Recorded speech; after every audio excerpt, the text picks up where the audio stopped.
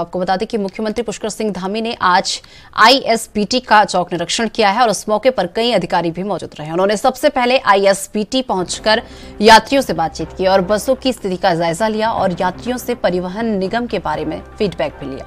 इस मौके पर मुख्यमंत्री ने बुज़ुर्ग महिलाओं के पास बैठकर चाय भी पी और उन्हें चाय भी पिलाई। इस अवसर पर सीएम का कहना रहा कि उन्होंने साफ़ सफ़ाई को लेकर निर्देश दिए हैं और आईएसबीटी से बसों का सही तरीके से संचालन हो इसके लिए निर्देश दिए गए हैं। उनका कहना था कि यात्रियों को किसी भी तरह की कोई असुविधा नहीं होनी चाहिए। उधर मुख्यमंत्री के अचौक निरीक्षण से अधिकारियों में हड़कंप मच गया है। आनंद फानन में अधिकारी व्यवस्था करते हुए दिखाई दिए।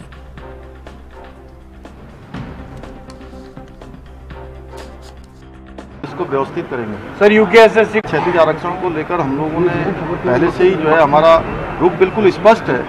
कि हमारे उत्तराखंड की मातृशक्ति के साथ किसी प्रकार का भी जो है कोई भी आ, उनके साथ कोई गलत काम नहीं होना चाहिए किसी प्रकार से उनके साथ ज्यादती नहीं होनी चाहिए। इसलिए हमने सुप्रीम कोर्ट जाने का निर्णय लिया था।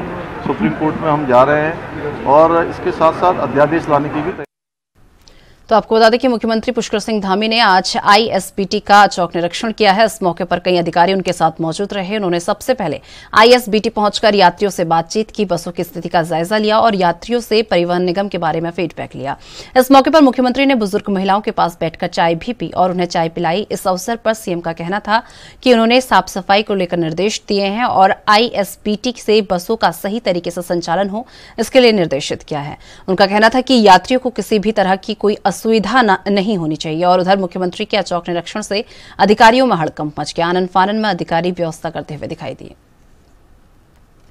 तो आपको बता दें कि आज सीएम धामी ने आईएसपीटी का चौक निरीक्षण किया है, जिसके बाद सीएम ने बसों में यात्रा करने वाले सभी यात्रियों से इसका फीडबैक लिया है और साफ़ सफ़ाई के दिशा निर्देश सीएम द्वारा दिए गए हैं। तो आज अचौक निरीक्षण होने के बाद से परिवहन विभाग में हड़कंप मच गया। परिवहन विभाग के अधिकारी आपको बता दें व्यवस्था करते हुए नज़र आए और जिसके बाद सीएम ने अचौक निरीक्षण करने के साथ साथ ही अधिकारियों को दिशा निर्देश दिए और इसी के साथ आपको बता दें कि यात्रियों से फीडबैक भी लिया गया।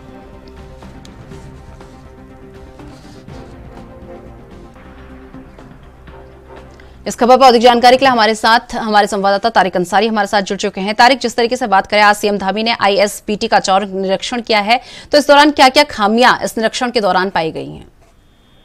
जी, बिल्कुल निशा मैं आपको बता दूँ, ये कोई पहली बार नहीं है। जब मुख्यमंत्री पुष्कर सिंह धामी ने कहीं का औचक निरीक्षण किया हो, इस बार हालाँकि वो आई आईएसबीटी पहुँचे, वहाँ पर पहुँचते ही उन्होंने तमाम जो वहाँ पर सुविधाएँ हैं, उनका जायजा लिया कि आखिर यात्रियों को सुविधा मिल रही है, नहीं मिल रही है, मैं आपको बताऊँ, वहाँ पर पहुंचकर उन्होंने साफ़ सफ़ाई देखी, वहाँ पर यात्रियों से बात की बात की।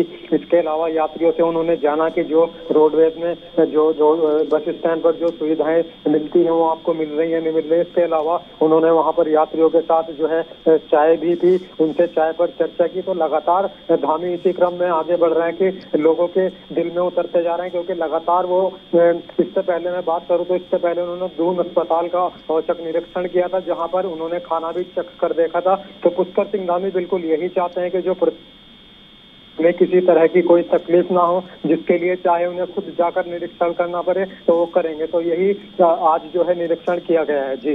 चलिए तारिक बहुत बहुत धन्यवाद हमारे साथ जुड़ने के लिए और ये तमाम जानकारी हमारे साथ साझा करने के लिए।